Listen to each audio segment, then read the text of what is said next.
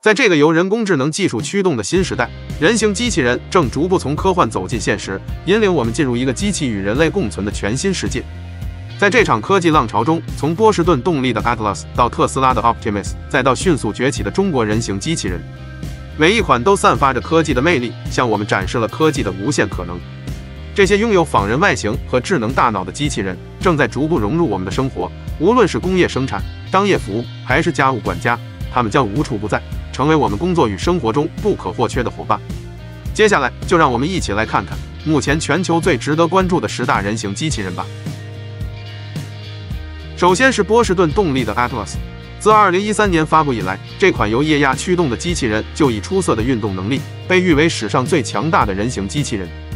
2017年，Atlas 以一记炫酷的空翻惊艳了全世界。这位身高约1.5米。体重八十公斤的机器人，全身共有二十八个关节，最高移动速度可达二点五米每秒。Atlas 不仅擅长跳跃、跑酷与跳舞，甚至还能倒立、三百六十度转体和后空翻，完成多种高难度的体操动作。同时，它还具备精确操控物体的能力，轻松驾驭各类复杂任务挑战。Atlas 自问世以来，一直是机器人技术的标杆，影响了一代又一代的机器人开发者。但由于液压驱动系统的成本高、技术复杂，难以大规模商业应用，于是波士顿动力不得不转向更主流的电驱技术，正式宣告液压版退役。新一代电动版 Atlas 在外观上设计更加友好，全电动系统赋予了它更灵活的运动性能。它的头部和躯干可实现一百八十度旋转，运动范围超越了以往任何版本，进一步提升了它执行复杂任务的操作能力。新版 Atlas 将传承液压版的所有功能，同时还在研发新的抓手系统，以满足更多商业需求。明年，它将在现代汽车进行测试，并将在未来几年开展商业化。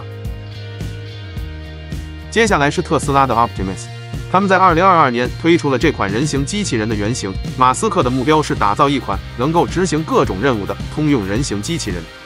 Optimus 自诞生以来便承载着马斯克对于未来的美好愿景。他认为将来人形机器人的需求量将远远超过汽车，每个人都将拥有一台机器人。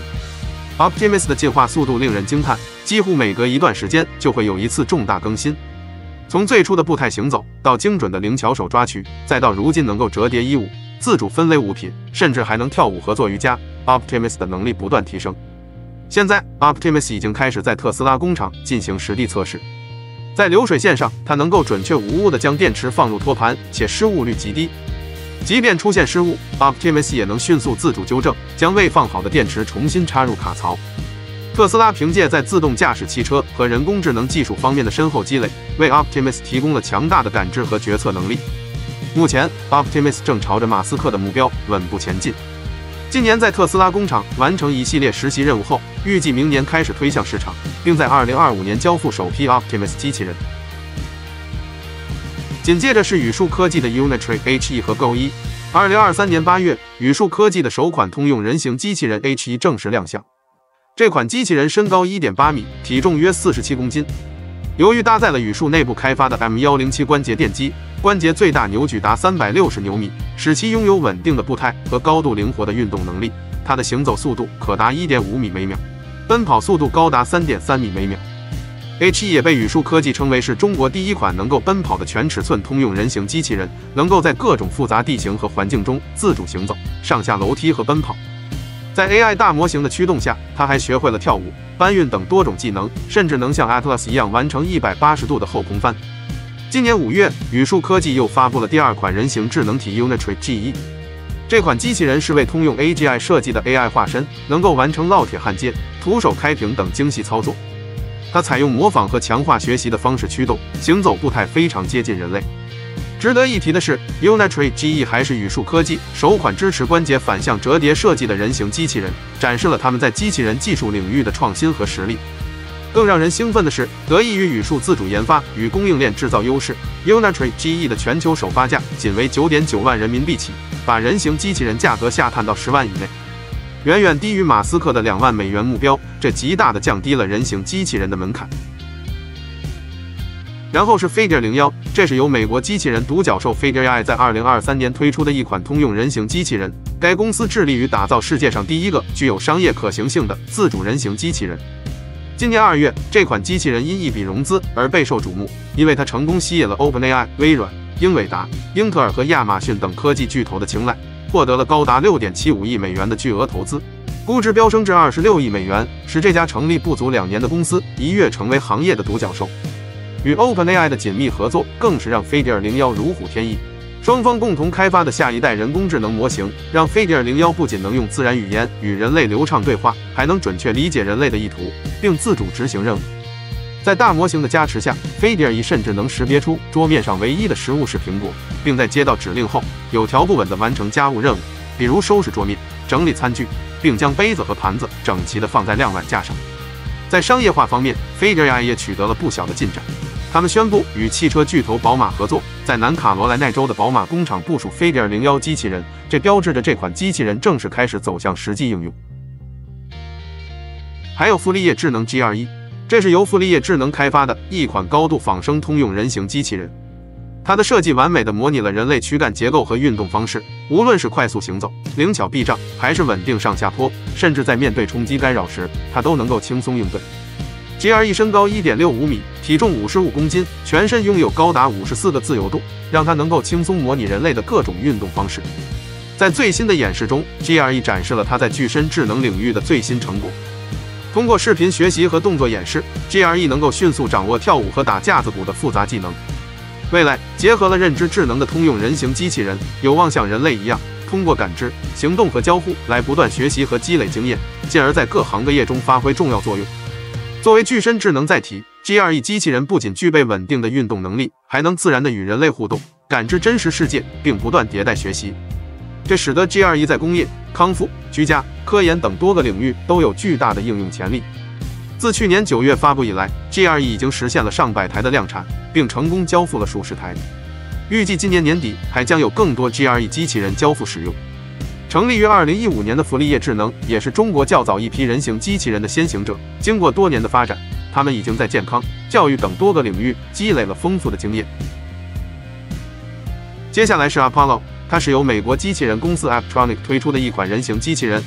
成立于二零一六年的 Apptronic，前身为美国德克萨斯大学奥斯汀分校的衍生公司，因其与 NASA 联合开发的女武神 Valkyrie 人形机器人而备受瞩目。Aptronic 团队在过往十年里成功开发了十多个机器人系统，积累了深厚的机器人技术。据说加拿大机器人公司 Sanctuary AI 的人形机器人 Phoenix 的部分硬件就是由 Aptronic 提供的。二零二三年八月，Aptronic 正式推出了全新的人形机器人 Apollo。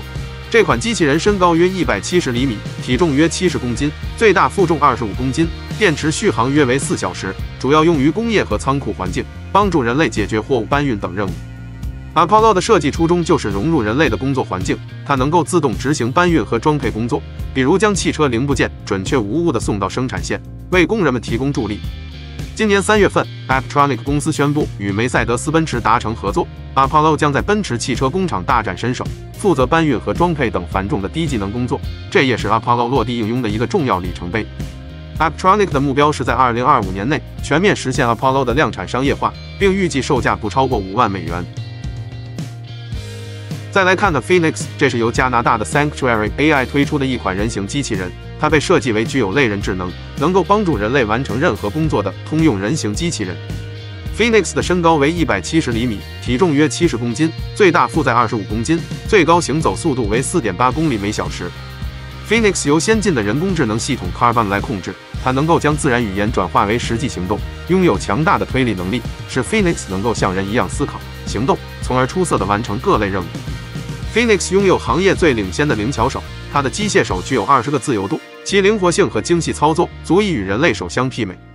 自发布以来，Phoenix 已经更新到了第七代。据官方称，它能以接近人类的速度自主完成许多工作，是世界上第一台能以人类速度自主完成任务的机器人。正因为这些出色表现，Phoenix 被《时代周刊》评为2023年的最佳机器人。而在二零二三年三月，Sanctuary AI 宣布与加拿大轮胎公司 CTC 合作，并在 CTC 完成了首个通用人形机器人的商业部署。在这之前，Phoenix 已经在 Marks 零售店接受过测试，并成功完成了一百一十项零售任务。如今，它已经可以在医疗、酒店、物流、零售、仓储等多个行业中大显身手，轻松应对数百项任务。接下来是 Deja，。它是由美国机器人公司 Agility Robotics 开发的一款人形机器人。